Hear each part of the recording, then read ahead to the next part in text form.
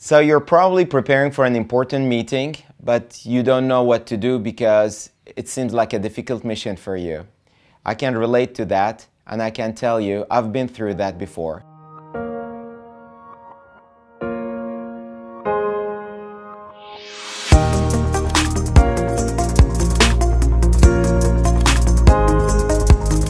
If you ask me for my opinion what makes a good speaker, then I will tell you need to focus on two things. One is that your ability to build a coherent text or coherent content that can be attractive to the listeners so that you can capture them and engage them from minute one until the end of your presentation. And number two, you need to focus on confidence in delivery.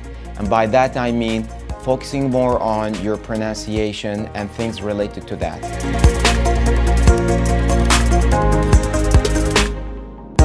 In my course, we'll work together on covering all these topics. We'll talk about what you need in grammar, what you need in vocabulary, what you need to build coherent context, and how to deliver it in a confident way. My name is Kam, and that's my tip for you.